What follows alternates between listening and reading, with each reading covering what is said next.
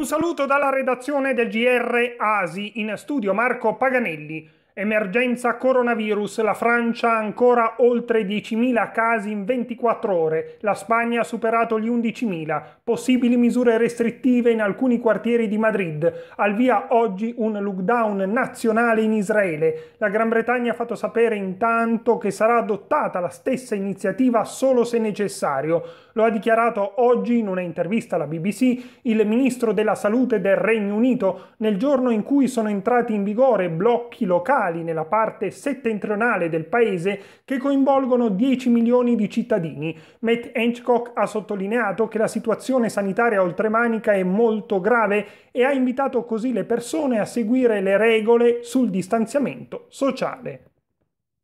Veniamo in Italia il Parlamento confermi il blocco dei licenziamenti perché ci sono delle richieste a partire da Confindustria di metterlo in discussione e l'appello lanciato oggi da Napoli del segretario nazionale della CGL Maurizio Landini in occasione della giornata di mobilitazione nazionale Ripartire dal lavoro indetta dal suo sindacato insieme a CISL e WIL.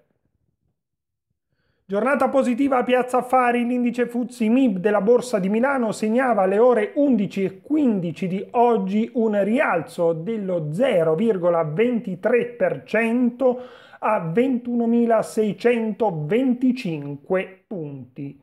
E per il momento è tutto, grazie per l'ascolto, ci risentiamo nel prossimo appuntamento del GR Asi.